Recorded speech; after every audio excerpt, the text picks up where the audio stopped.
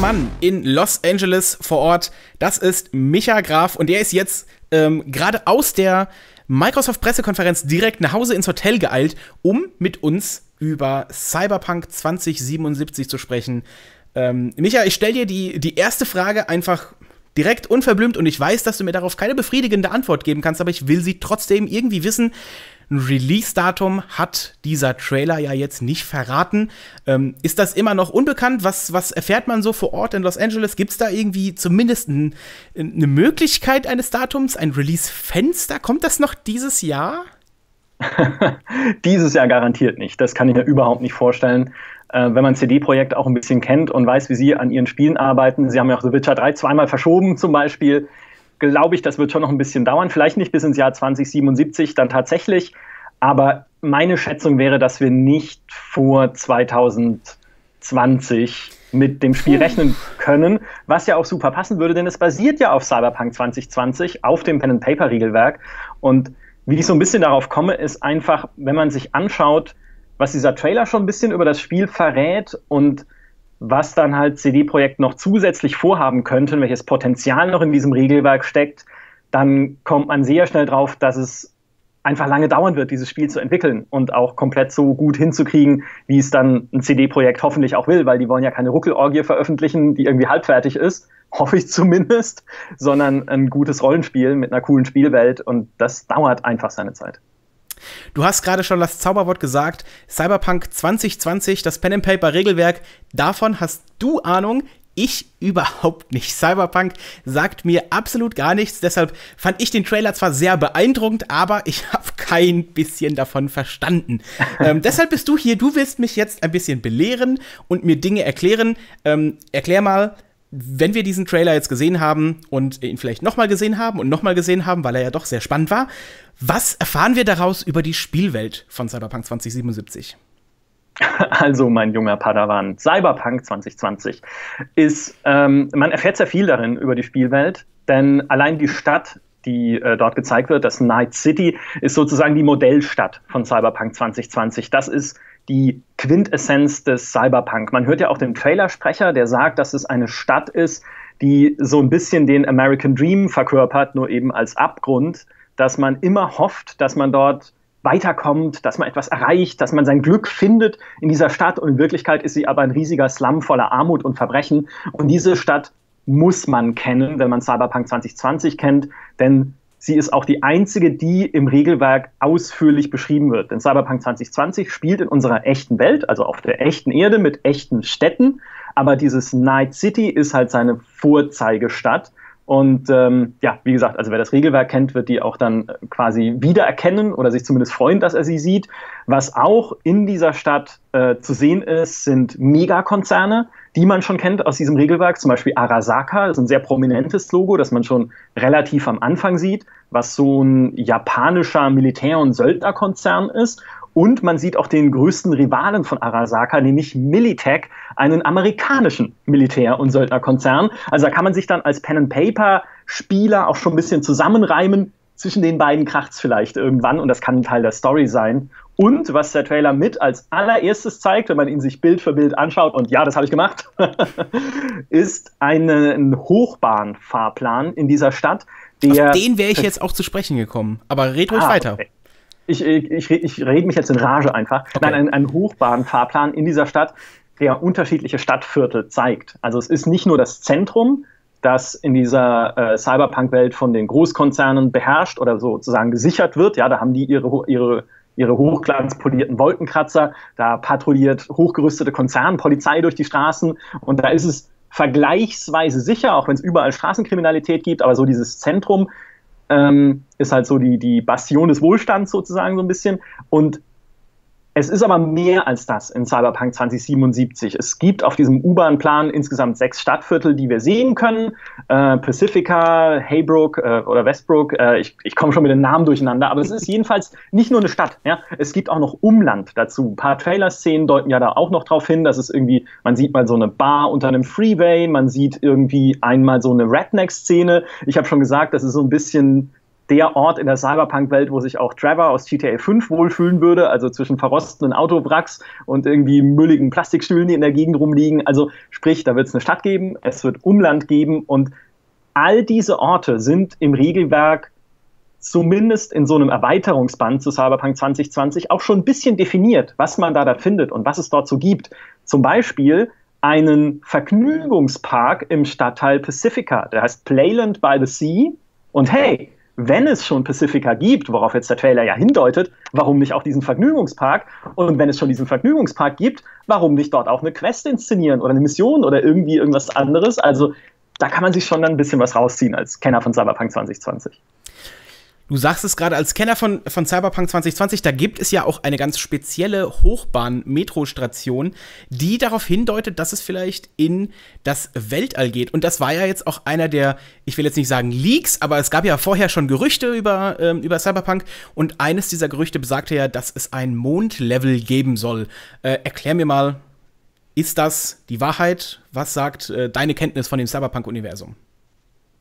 Man weiß es nicht, ja. Also es ist auf jeden Fall sehr wahrscheinlich, oder äh, sagen wir mal, es ist. Also gesehen haben wir es im Trailer natürlich nicht, aber ja. Genau, also wir sehen, genau, wir sehen äh, den Mond oder äh, irgendwas anderes äh, sehen wir nicht im Trailer. Was wir aber sehen, ist tatsächlich auf diesem Hochbahnfahrplan eine Station, eine Endstation, die Orbital Air Space Center heißt, also das Weltraumzentrum, ein Raumhafen. Und Orbital Air, muss man dazu sagen, ist einer der Konzerne dieser Cyberpunk 2020-Welt, ein afrikanischer Großkonzern, der das Monopol hat auf Orbitalreisen, also auf Reisen in den Weltraum. Und ja, warum sollte man den denn einbauen, wenn es im Spiel nicht in den Weltraum geht, noch dazu so prominent auf diesem Hochbahnfahrplan? Also das ist schon mal ein ziemlich eindeutiger Hinweis, dass zumindest was in diese Richtung angedacht ist.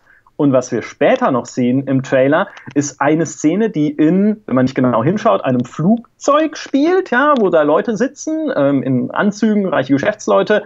Und wenn man aber aus dem Fenster schaut, sieht man, dass dieses Flugzeug schon verdächtig hoch fliegt, weil man die Erdkrümmung sieht. Also man sieht Flugzeug, das ist eine Raumfähre. Und jetzt kann im Prinzip zwei Möglichkeiten. Das eine ist zum Mond. Der Mond ist in Cyberpunk 2077 besiedelt, äh, von der ESA, lustigerweise, von der Europäischen Raumfahrtbehörde, die eine sehr wichtige Rolle spielt im Cyberpunk-Universum, weil sie sozusagen die Beherrscherin des Weltraums ist. Die Vereinigten Staaten haben da nichts zu suchen. Da gab es auch schon Kriege dann im Orbit oder beziehungsweise um äh, quasi äh, Weltraumgeschichten. Und auf dem Mond gibt es mehrere Mondkolonien. Und ja, es wäre möglich, dass man die dann auch besucht oder eine davon besucht in Cyberpunk 2077 und dass diese Gerüchte stimmen, die es da schon im Vorfeld gab. Die andere Möglichkeit wäre, dass diese Raumfähre, die man sieht, unterwegs ist zu Crystal Palace. Crystal Palace ist eine Raumstation, die äh, im Cyberpunk-Universum auch als Las Vegas des Weltraums bezeichnet wird, wo einfach reiche Leute hinfliegen, um ins Casino zu gehen, um im Hotel zu entspannen, um einfach ihre Ruhe zu haben von der dreckigen und überbevölkerten Erde. Auch das ist gut möglich, weil das würde dann auch erklären, dass auf dieser Raumfähre so viele Geschäftsleute sitzen, die wollen halt dann zu dieser Raumstation. Also man weiß nicht, es gibt auf jeden Fall coole Weltraumschauplätze und wer weiß, ob wir die dann im Spiel sehen. Es gibt zumindest diese Hinweise. Kommen wir mal wieder zurück auf die Erde. Wir haben ja auch dort Fahrzeuge gesehen. Äh, mhm. Ist ja auch eigentlich total logisch. Ich meine, äh, Gerald in Witcher 3 hat ja auch Plötze und konnte sich damit fortbewegen.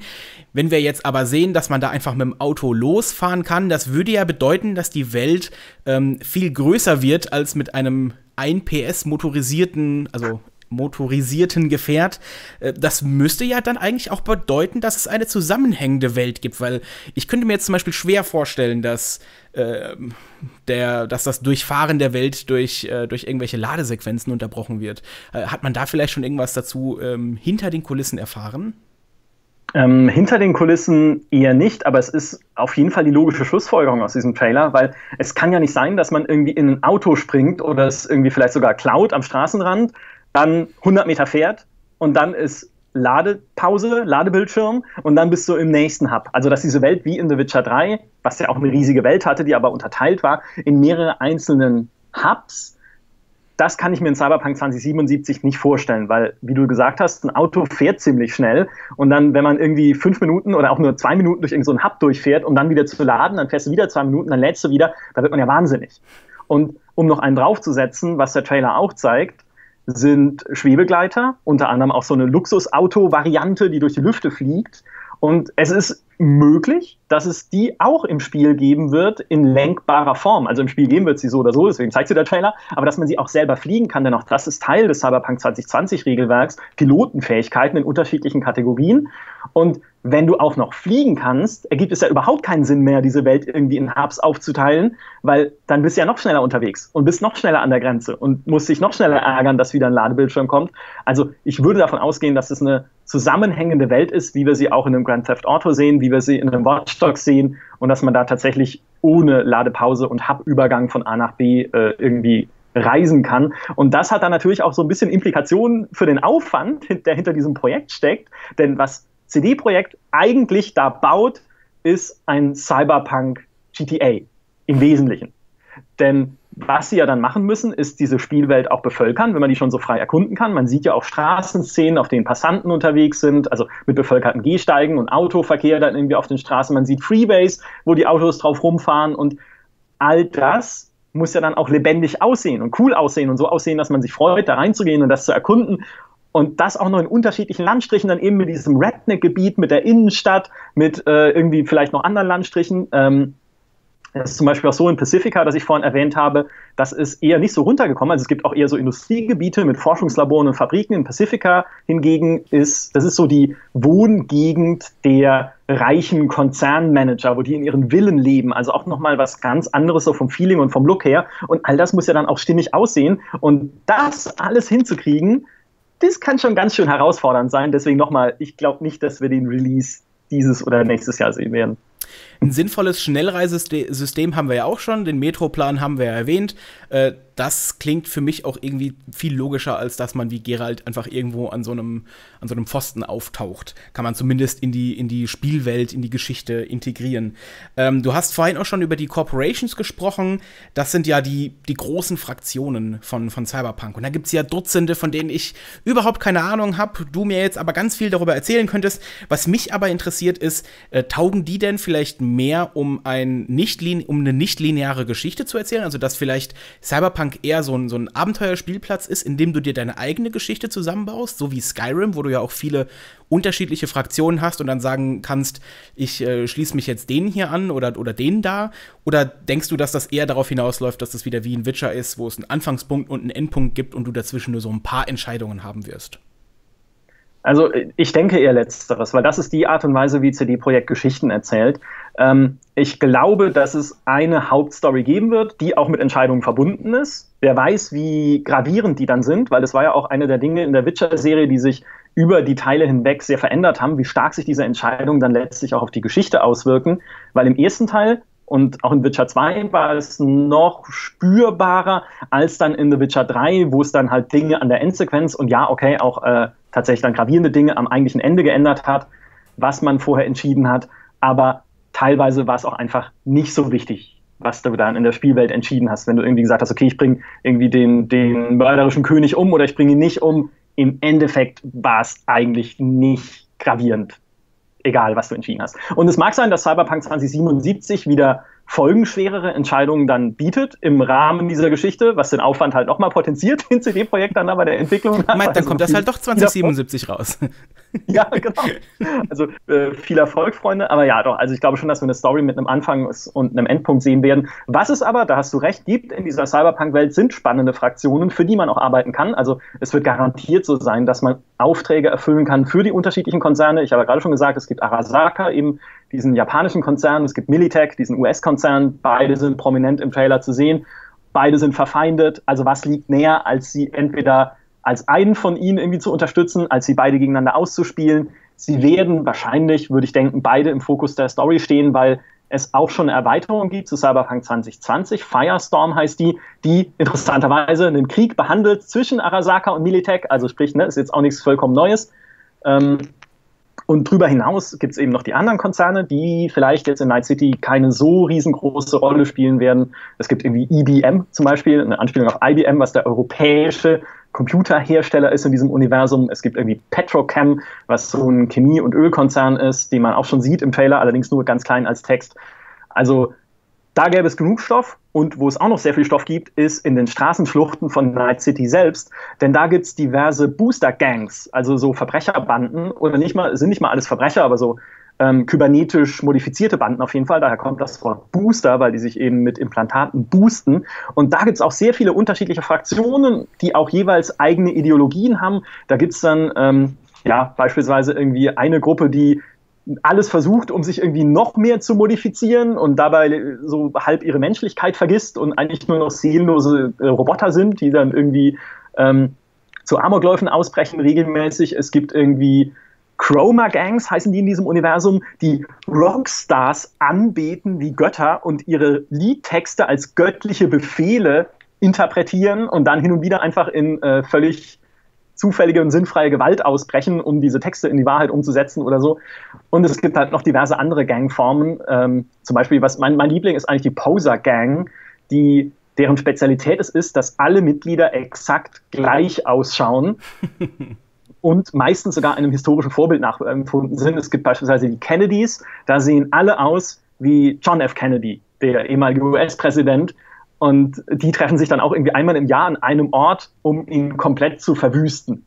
Äh, jeweils an einem anderen, jedes Jahr an einem anderen Ort, weil sonst äh, gibt es ja keinen Sinn. Aber da gibt es halt auch genug Irrsinn und Fraktionen auf den Straßen, dass man für die auch noch arbeiten könnte. Und es gibt sogar noch das, was von den Regierungen der Welt übrig ist, oder zumindest von der Regierung der USA. Die Europäer sind ja eigentlich in dem Szenario eher die Wohlhabenden und die äh, Strippenzieher hinter den ganzen Ereignissen auf der Welt.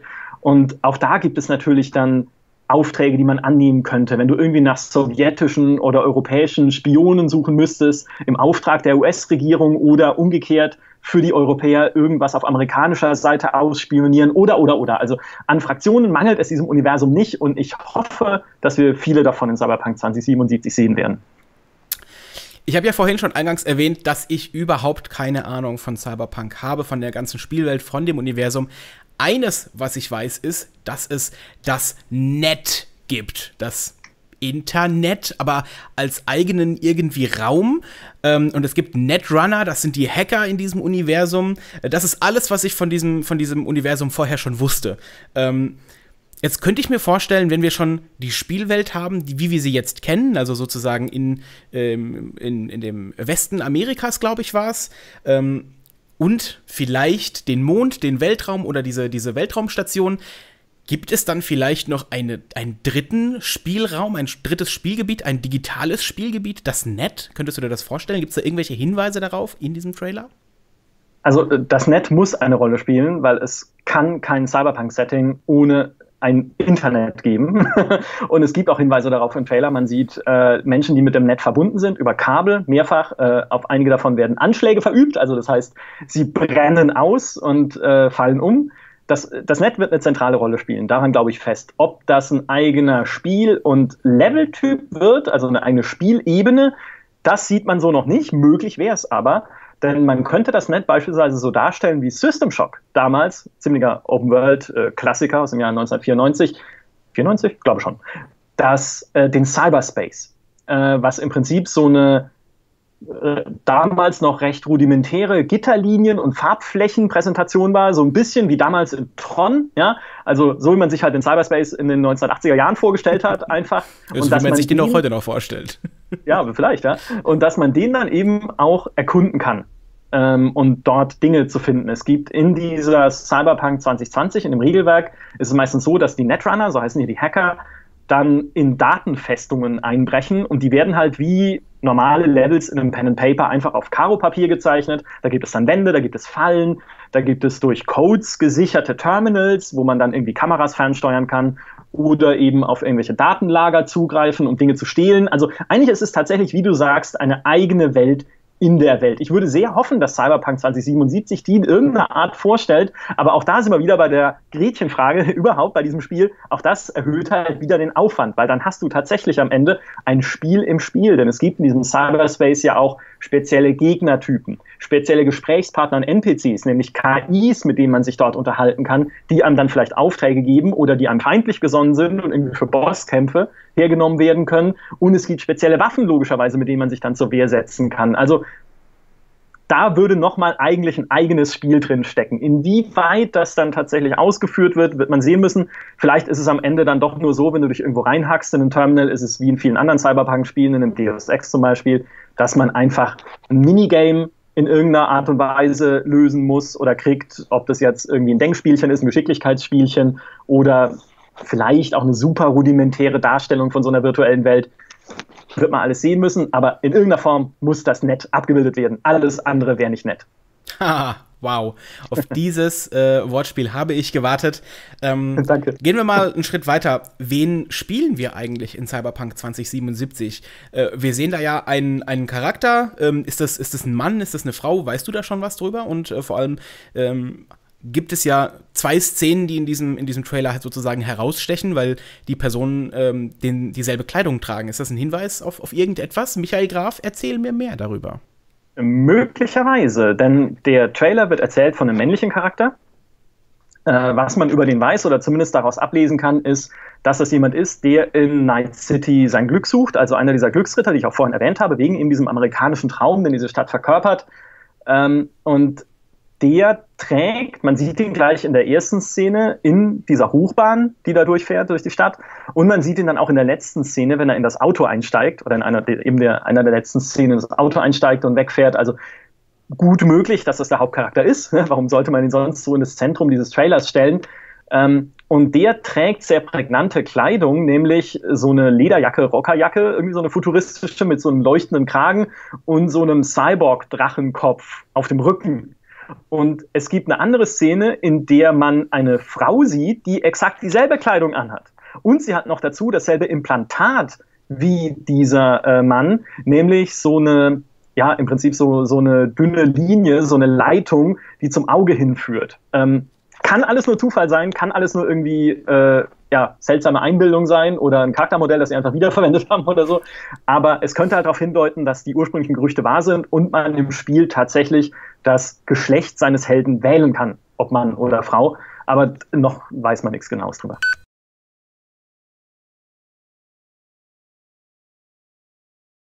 Okay, kommen wir zu den Implantaten. Ähm, welche hast du denn noch entdeckt und, und ähm, wie sind die in der Welt, in dem Regelwerk verankert? Was bedeutet das für, für, die, für, die, ja, für das Gameplay von, von, von dem Cyberpunk 2077? Was können wir da schon ableiten? Mhm. Also Cyberimplantate sind ja im Prinzip die Stars von jedem Cyberpunk-Setting. Die sind das, was eigentlich überhaupt erst so die Magie reinbringt, sage ich mal, die Dinge, die man halt als normaler Mensch nicht machen könnte. Und auch davon sieht man in dem Cyberpunk 2077-Trailer schon jede Menge. Man sieht irgendwie Körperpanzer, äh, teilweise irgendwie Platten über den Augen oder so ein Visor, ja, also so verschiedene Optikgeschichten. Ähm, man sieht äh, künstliche Arme, aus denen Waffen ausfahren, wie man es auch schon im allerersten Teaser-Trailer gesehen hat, mit dieser Frau, die so Armstacheln hatte, einfach, um damit ähm, ja, Menschen anzugreifen. Man, äh, oh Gott, was sieht man noch alles? Man sieht so viel Kybernetik einfach. Man sieht Menschen mit Leitungen im Gesicht und dann so Silberplättchen an beispielsweise der Nase oder an den Wangen, die darauf hindeuten, dass es dort äh, eben Nasenimplantate gibt. Die gibt es auch im Original. Es gibt tatsächlich einen Geruchssinnverstärker in Cyberpunk 2020, der dir halt erlaubt, deine Umgebung einfach besser wahrzunehmen. Und insgesamt, dieses Regelwerk bietet einen Wust an kybernetischen Implantaten. Metallarme und Beine sieht man auch im Trailer immer wieder prominent, sind da, nur, sind da eigentlich nur das, das Simpelste noch, weil die dir halt erlauben, kräftiger zuzuschlagen oder höher zu springen oder schneller zu klettern auch teilweise.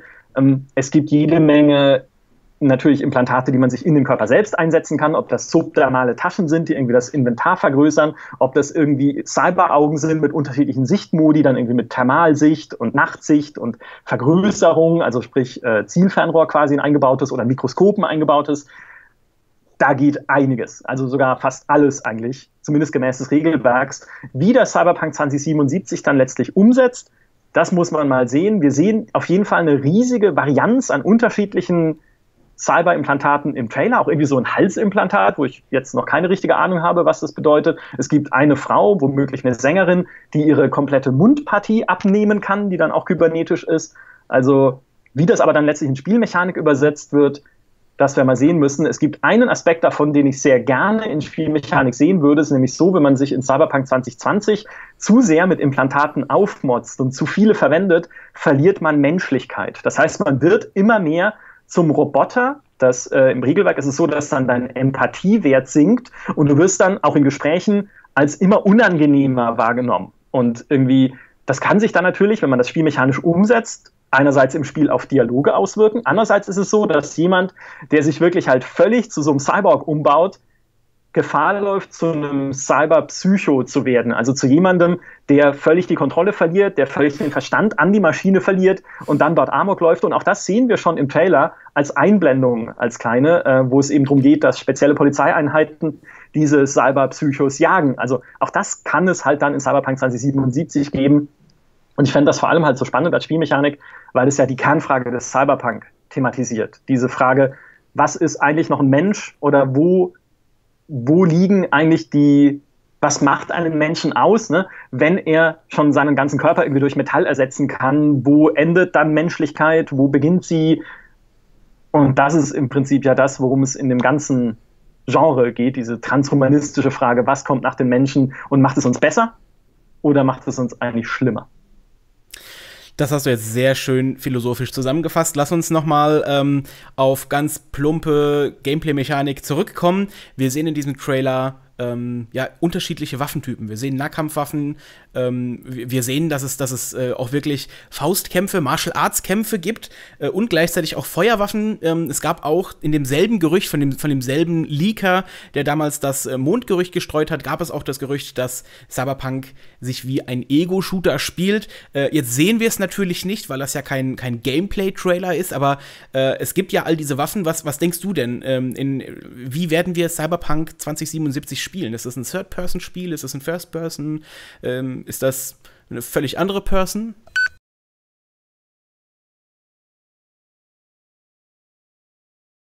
Gut, äh, da wir jetzt schon so lange gesprochen haben, möchte ich noch eine letzte abschließende Frage an dich stellen. Äh, und zwar, wenn man diesen Trailer gesehen hat und jetzt nicht so blindlings ihn gesehen hat wie ich, sondern so wie du, der das, der das ganze Regelwerk dahinter kennt und äh, dieser, in dieser Spielwelt offenbar ähm, schon, schon aufgeht und ähm, auch schon selber auf dem besten Weg zum Cyberpsycho ist. äh, ja, schön. Äh, kann man denn schon irgendwas über die grobe Handlung von Cyberpunk 2077 jetzt daraus her herableiten? Ähm, oder ist das jetzt wirklich nur mehr so ein, so ein Mood-Trailer, der, der die Stimmung ähm, vermitteln soll? Also es ist definitiv mehr ein Mood-Trailer ähm, und so ein Überblickstrailer, was es so alles in der Spielwelt zu sehen gibt und äh, ja, was man da alles erleben kann, so, so, eine, so eine zusammengepackte quasi ähm, ja, ne, wie gesagt, so eine Übersicht und so ein Dings. Aber ja, es gibt ein paar Rückschlüsse, die man auf die Story, ähm, aus der, also die man so ziehen kann aus diesem Trailer. Wie gesagt, vorhin Arasaka und Militech, ne, zwei Konzerne, die sich eh schon gegenseitig hassen, dürften sich auch in Cyberpunk 2077 nicht gerade grün sein. Also, dass die miteinander irgendwie in Konflikt kommen, ist relativ vorhersehbar. Und was ich gerade erwähnt habe, dieser Einsatz von äh, Polizeieinheiten gegen Cyberpsychos erscheint im Trailer auf so einer riesigen Videoleinwand, vor der ein geheimnisvoller Raucher steht. Und ich meine, hallo, wir wissen alle seit Akte X, ein geheimnisvoller Raucher, der hat Dreck am Stecken. Ja? Das ist irgendein Verschwörer. Der will irgendwas. Macht, Geld, Beta-Zugang für Diablo 4. Es ist immer dasselbe, der will was. Ja? Und es gibt eine andere Szene in erwähnter Raumfähre, in der ein Geschäftsmann, der sich dort ans Netz angeschlossen hat, gewissermaßen eben ausbrennt und es sitzt auch im Vordergrund ein Mann, der dann an seinem Drink nippt und lächelt, ja, und ähm, das heißt, ja, der wusste irgendwas und äh, das deutet ja auch schon darauf hin, es wird halt Konzernintrigen geben.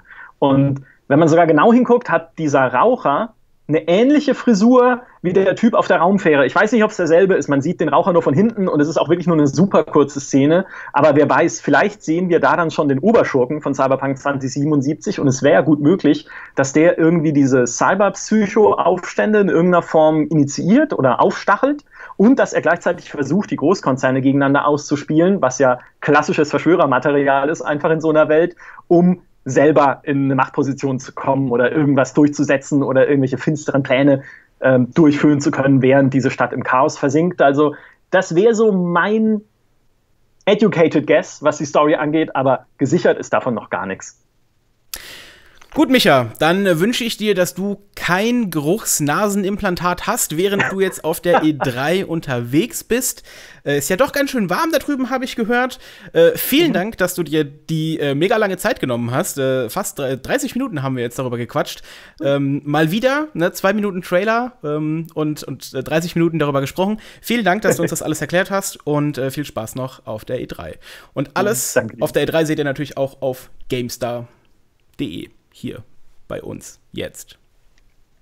Tschüss. Dankeschön, mach's gut. Tschüss.